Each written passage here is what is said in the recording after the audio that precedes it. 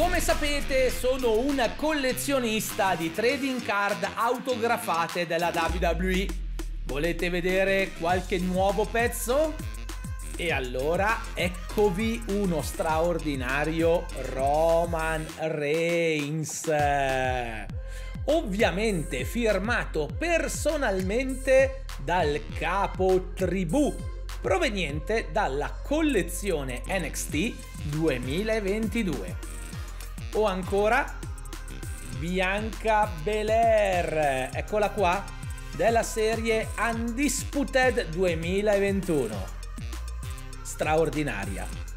Pensate, una rarissima trading card di Hulk Hogan del 1982 è stata recentemente venduta per più di 51.000 dollari. Un record assoluto per questa tipologia di cimelio legato al pro wrestling. Mi piacerebbe farvi vedere pure quella, ma è giusto un po' oltre al mio budget.